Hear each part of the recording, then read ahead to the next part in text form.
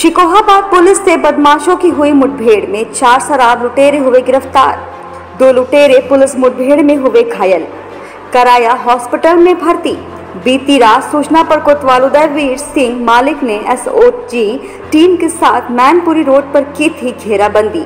दो बाइकों पर चार लुटेरों को रोकने पर पुलिस पर की बदमाशों ने फायरिंग। जवाबी कार्रवाई में दो बदमाश घायल। दो अन्य को दौड़ाकर पुलिस ने दबोचा।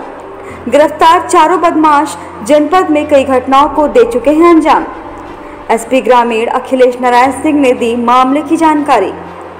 थाना सिकोहाबाद क्षेत्र के मैनपुरी रोड पर बीती रात का मामला। थाना सिकोवा क्षेत्र का क्या मामला है सर? थाना सिकोहाबाद क्षेत्र में आज रात्रि लगभग आठ साढ़े आठ बजे के लगभग एक सूचना मिली कि शराब को लूटने वाले कुछ बदमाश मैनपुरी रोड पर देखे गए हैं। सर्विलांस एसओजी टीम के साथ, एसएचओ उदयवीर अपनी टीम के साथ उधर चेकिंग में लग गए। इसी बीच दो बाइक सवार, चार बदमाश आते हुए दिखे, जिन्होंने पुलिस बल पर फायर कर दिया। पुलिस बल ने आत्मरक्षात कार्रवाई किया, जिसमें दो बदमाश घायल हुए, जिनके नाम सुल्ला और धर्मेंद्र और कुलदीप फौजी है।